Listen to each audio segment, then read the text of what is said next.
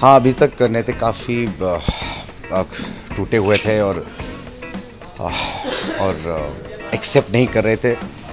लेकिन, अब अपनी फैमिली के लिए, अपने बच्चों के लिए अगर उन्हें संभालना है तो पहले नैतिक को, खुद को संभालना पड़ेगा और उसी उसी लिए ये पहला स्टेप लिया गया है एक शांति पूजा करने का, ताकि अब आगे बढ़ें तो एक पॉजिटिविटी के साथ बढ़ें और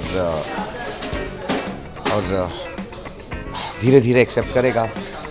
यादों में नहीं सब हम सबको याद तो आ रही है जिस वजह से ये शांति पूजा हो रही है तो अक्षरा की याद तो बिल्कुल आ रही है जो मोमेंट्स उनके साथ थे तो वो याद कर रहे हैं Hi, this is Divyanka Tripathi. Hi, this is me, Jigyasa Singh. Hi, this is Ankit Batla. Hi, this is Ali Koni. Hi, this is Rasim Hi, this is Sangram Singh. And you're watching And keep watching Telescope. Keep watching your favorite channel, Telesoap. Keep watching Telesoap. You're watching Telescope. And you're watching your favorite channel on YouTube, Telesoap.